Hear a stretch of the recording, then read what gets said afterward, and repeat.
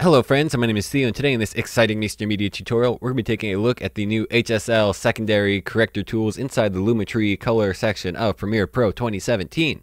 So, what these do is they allow you to just apply corrections to a certain part of the image that is not done with just using a mask like this.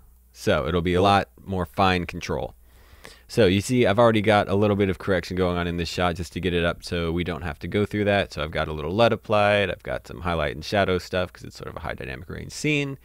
And now we scroll down to our HSL secondary in our Lumetri color. Find the Lumetri color in the effects panel. So the first step in here, pick set color and select the part of the image that you want to correct. So we're going to sort of pump up Dave's skin tones a little bit. Not that it really needs it. He looks fine just like this. But we need to make a tutorial. You see right away, nothing really happens besides these sliders move around some, which doesn't really help us out a lot. Until you go and click on this saturation button. So in here you can select different mask modes, and I'll normally just leave it on color slash gray because why the heck not? And now, if you want to, you can use these add and remove color controls to try and get your mask working, but really, these sliders work a lot better. So just sort of start at the top and scoot them around until you see, and you know, this is pretty good how it is. Make it a little bit wider. Saturation. So H stands for hue, S stands for saturation, L stands for lightness. So that's what these controls are doing. You can sort of see that in these little bars there. So making that work. It's looking pretty good. And now, there we go. So now we're starting to get a pretty nice little key going. You see we've got some futs around here. Can't really do anything about that because it doesn't have a mask control in here, which is one of the things they should really add because if you try and add a mask up here, then it does it for the whole Lumetri color. So you could add a whole second uh, instance of Lumetri color and use a mask on that and just do HSL in there. But who wants to do that? So little tangent there. So now we've got our key looking pretty good. We can go ahead and denoise it. let's turn that up to 100 because why not? And then blur it out just a little bit. Probably even less than that. And now you see here they don't have any uh, mask expansion or contraction control. So if you need better refined mask controls, you got to go into Resolve still. But you know, they've, they've got to start, and I, I appreciate that.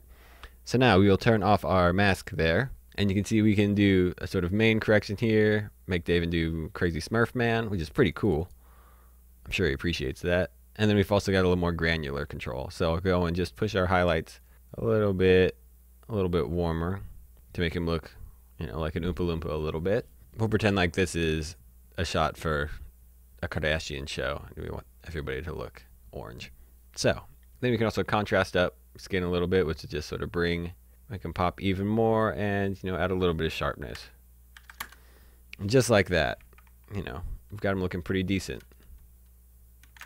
Dave agrees. So you can see, is a great thing to have. It's not all the way there yet, but you know, I appreciate them having it. So, if you like this tutorial, give it a like. If you didn't, give it a dislike. No matter what, leave your feelings down in the comments below.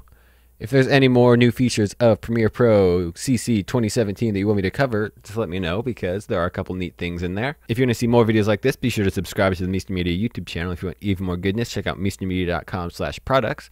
Got the House LUTs pack, which I used in this shot to, you know, sort of start getting it, getting it going. If you didn't, still pretty flat. Nice quick little way to punch things up. Also, Bright Lights Light Leak Pack and the Carnival Power Grades. If you are real into color grading and you're using DaVinci Resolve, power grades are pretty, pretty dope.